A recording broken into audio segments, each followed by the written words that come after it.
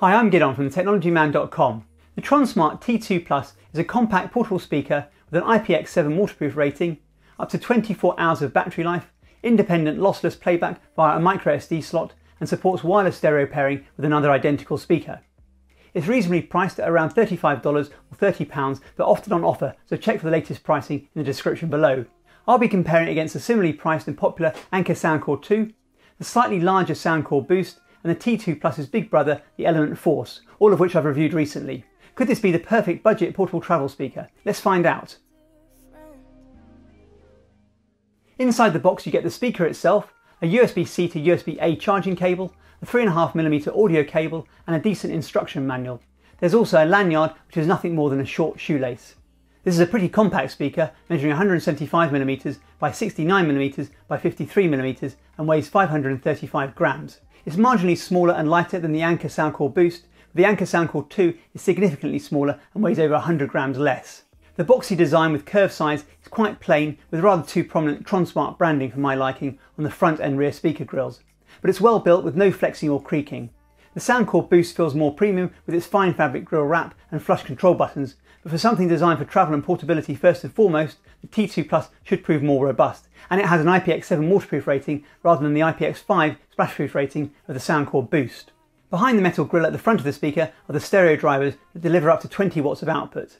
Around the back of the speaker, you can just see the rear venting passive radiator behind the metal grille, and lifting the rubber flap reveals a microSD slot, a USB-C charging port, and a 3.5mm audio port for a wired connection. They don't list the maximum capacity of microSD card supported, but a SanDisk 64GB card worked just fine. It's not a feature I'd use much, but it does allow for completely untethered music playback. It's nice to see the modern and robust reversible USB-C charging port, but I would liked a USB port to charge other gadgets, like on the Soundcore Boost. You need to completely close the rubber seal to maintain its waterproof rating. Around one side of the speaker is a buckle like on the TronSmart Force for clipping to a bag. A carabiner would have been a more useful accessory than the short shoelace lanyard for this purpose. Along the top are the slightly raised speaker controls.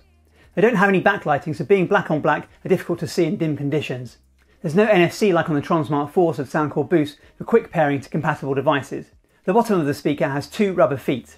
The T2 Plus has a 3600 mAh battery, but despite charging via USB-C, doesn't support fast charging. It supports up to 2 amps at 5 volts, but I didn't get more than around 1.2 amps, and it wouldn't charge at all via USB-C to USB-C cable. A full charge takes around 3 hours. The power LED lights red whilst charging and then turns off when fully charged. You can use the speaker whilst charging, but TronSmart recommends against it for the longest battery lifespan. A 3 second press of the power button turns the speaker on with a sound that can't be disabled. The first time you turn the speaker on, it'll enter Bluetooth pairing mode with the power light flashing blue. Connect to TronSmart Element 2 Plus in your Bluetooth settings. There's another beep and the power LED goes a steady blue. The speaker will power off automatically after 15 minutes if there's no music playback.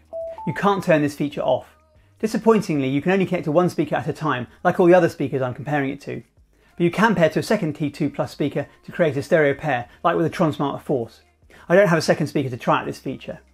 If you want to pair to another device, press and hold the play button for 3 seconds until the blue light starts flashing, indicating it's again ready for pairing.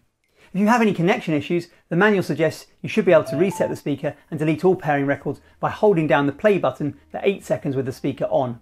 I didn't find this did anything. The controls along the top can be a little confusing, and I had to repeatedly refer to the manual to remember their multiple functions.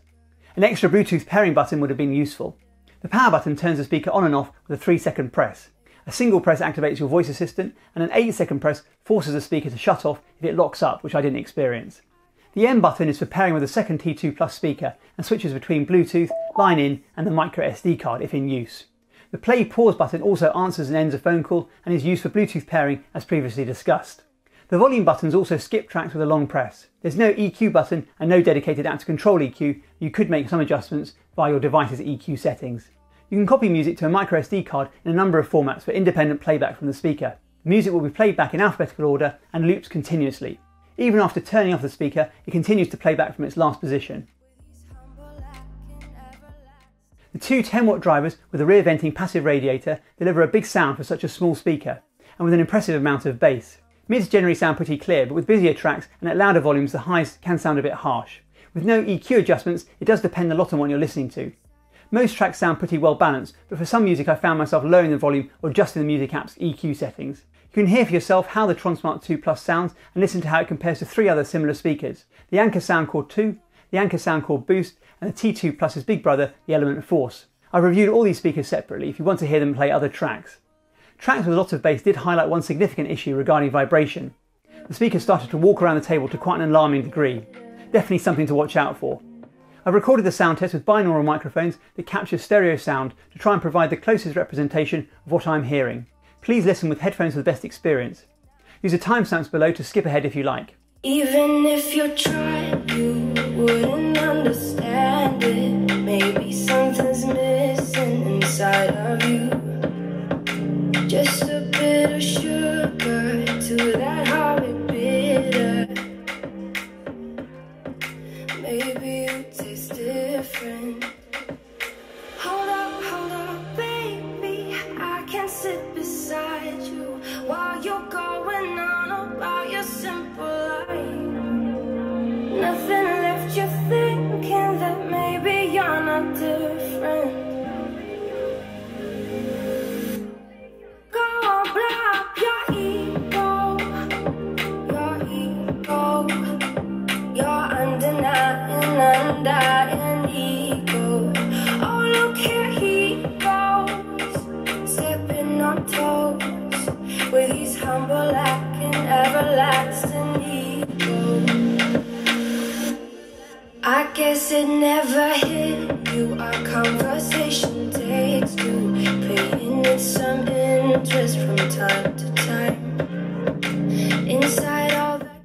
It is a step up in size from the Soundcore 2, but if that doesn't bother you, it's also louder with more presence and significantly more bass.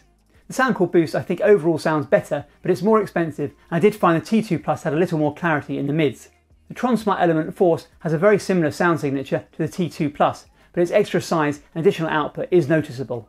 The speaker has the latest Bluetooth 5.0 and the connection was generally reliable. Range was okay and comparable to the other speakers I was testing it against, making it to the far end of the next room of my brick built house around 10 metres away, but no further. There's no support for the high quality aptX or AAC codecs.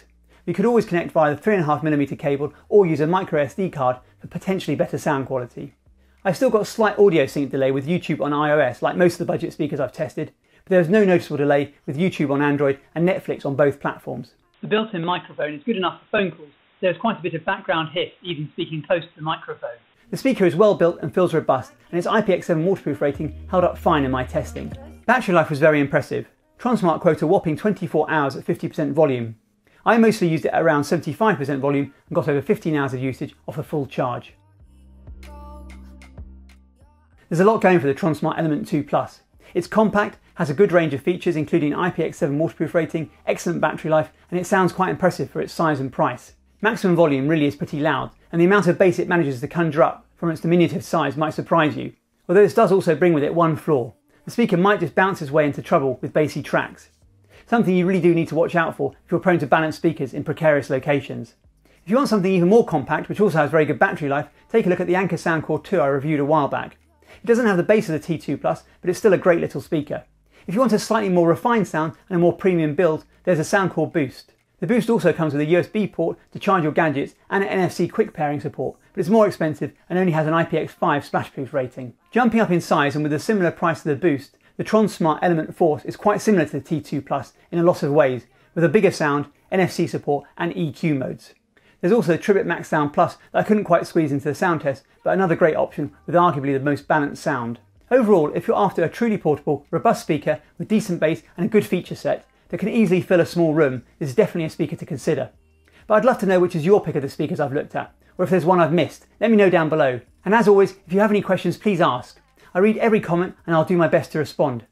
I do hope you found this video useful. Please like the video if you did. I'm releasing videos every week on the latest technology and how to get the most out of it, so please make sure you subscribe. It helps more than you think. And don't forget to tap the bell icon if you want to get notified as soon as a new video gets uploaded. Thanks for watching.